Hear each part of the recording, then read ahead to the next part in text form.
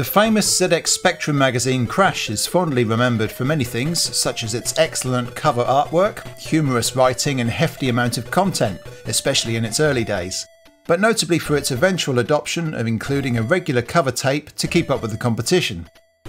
Here we document each edition of Crash magazine that included a cover tape, starting with what is considered the first proper cover tape Crash offered, this is the Crash Sampler, which was included with issue 45 in October 1987. It's worth noting that this was literally just a cassette tape stuck to the magazine without a case. They did provide an inlay inside the magazine though that you could cut out and place inside a spare cassette case of your own. How generous! But it does include a handy section where you can note down the tape counter position for each of the demos. On this tape is a mixture of both rolling demos and playable demos. Side A Mean Streak, published by Mirrorsoft as a rolling demo. The game sees the player control their motorcycle through isometric levels, avoiding obstacles and shooting other bikes.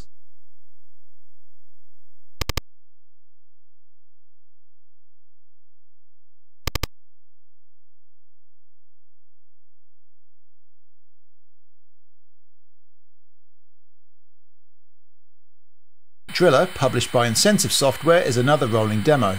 Driller is a 3D first person puzzle game where you use clues to establish where you need to drill on each level.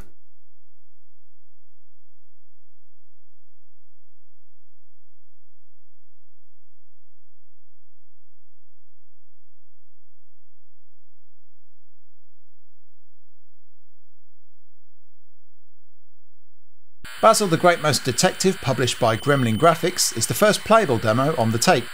It's a side scrolling platformer based on the Disney movie where Basil seeks to rescue his kidnapped friend.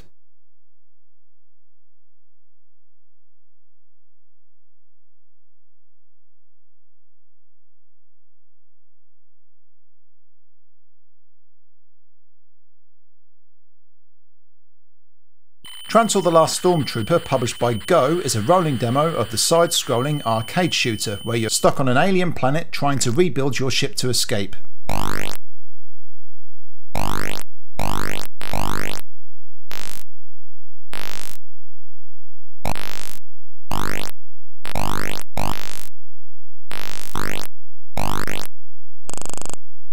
Side B. Published by Imagine, Athena is a side-scrolling platformer where you play as the goddess of wisdom, Athena. You take on enemies, bash through blocks and progress to beat the level bosses.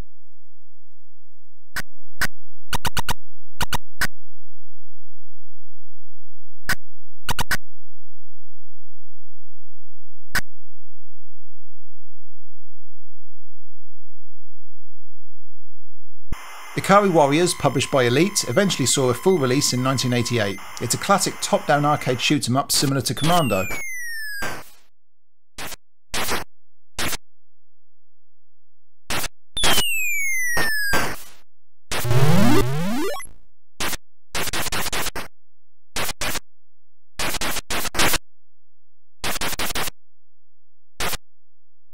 Known as just Slaine once released, this was published by Martech Games and is a graphic adventure game. Not your typical one though, the game uses its own unique system of menus to help navigate your way through.